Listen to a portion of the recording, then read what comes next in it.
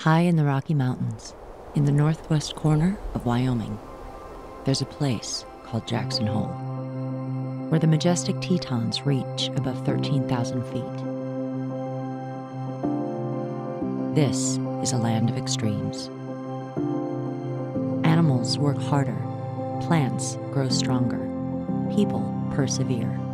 Thinner air, intense sun, lower humidity, and a constantly changing climate ensure that.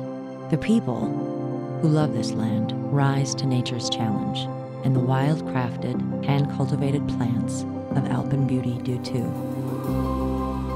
Botanically designed to hydrate, nourish, and repair. This is Alpyn Beauty.